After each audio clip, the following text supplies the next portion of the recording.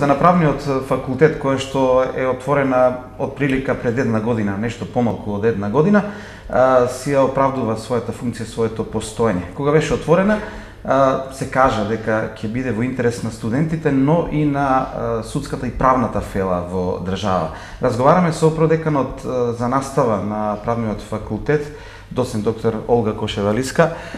Доцент Кошевалиска, колку е искористена и што се се случуваше во оваа судница? Го оправдува ли своето постоење до сега? Секако дека го оправдува, значи имавме многу активности. Првично најголемата значи нај, првичната замисла за судницата беше да биде користена за процесните предмети за да можат студентите на самите предавања да не го визуализираат тоа што им го предаваме, туку да можат да го гледаат во, во самата судница. значи освен предавањата кои што се одржуваат, Во судницата имаме бројни обуки.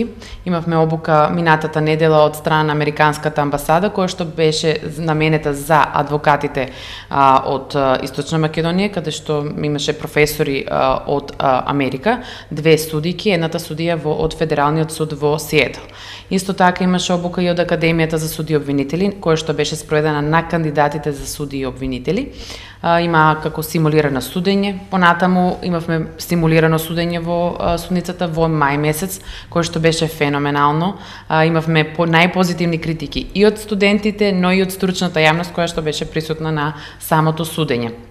Исто имавме симулирано судење од страна на студентите од правниот факултет во Ниш, кои што се два пати победници на надпреворот пред судот за а, човекови права во Страсбур. Значи тие изведоа едно стимулирано судење во самата судница а и да ги напоменам бројните предавања од странски експерти, на пример, наредната недела исто имаме предавање од Марк Лансер кој веќе има предавано кај нас, тоа е виш правен советник во американската амбасада. На самото отворање да, на судницата. Кој, кој е и главен так. виновник нели за самата судница.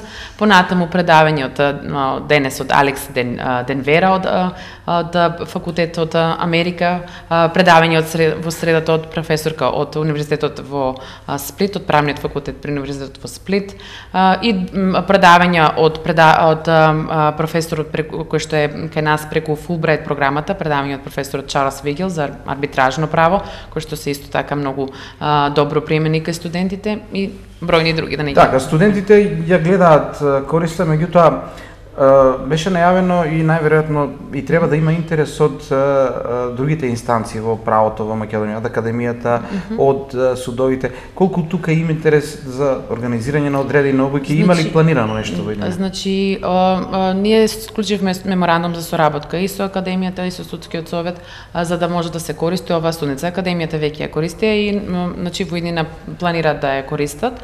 А, ние сме секош отворени за соработка, од судовите малку потешко иде, значи тоа е во случај кога а, ќе биде потребна опремата, на пример опрема за заштитен сведок која што имаме само ние во ови а, во ови дел од Македонија, значи во источна Македонија, така да потребни се предуслови за да се а, и а, причини за да се користи судницата за реално судење во законот за кривична постапка е предвидено дека може судењето да се одвива и надвор од седиштето на судот во случај кога тоа го барат а, а, карактеристиките на случајот кој што е а, пред судиите. Така, бидејќи сте продекан за настава во овој нов состав на правниот факултет, а, да ве прашам и како оди со наставата на правниот факултет во моментот запишаните студенти започнаа со предавање? За, имаат започнато, веќе сме и до првата колокумска недела, значи првата половина од предавањето е завршена, предавањето се одржуваат редовно, студенти студентите се многу задоволни, затоа што веќе гледавме да се преориентираме кон предавања кои што не се само од страна на професорот да го елаборира сето тоа што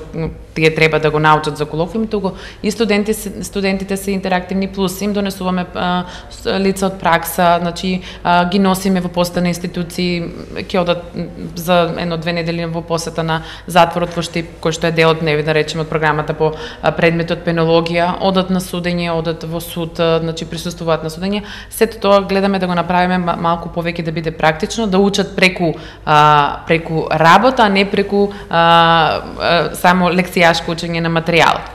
Да не заборам да напоменам дека и планираме на еден надпревар за симулирано судење кој што ќе се одржи а, тука во судницата и ќе биде меѓу четирите државни факултети и а, Штуловиот универзитет како а, кој што е во рамките на јавно приватно партнерство. Е сега А, тоа ни беше планирано негде почетокот на декември, се уште чекаме да видиме како ќе се организираме, бидејќи сите а, факултети треба да се а, на еден начин да се координираме во исто време да да бидеме до при крај со подготовките, така да тоа ќе имате накнадно. Така, ние ќе бидеме тука тоа да, да го информираме да. и да знае јавноста навреме и студентите и сите останати. Благодарам многу за разговор. Нема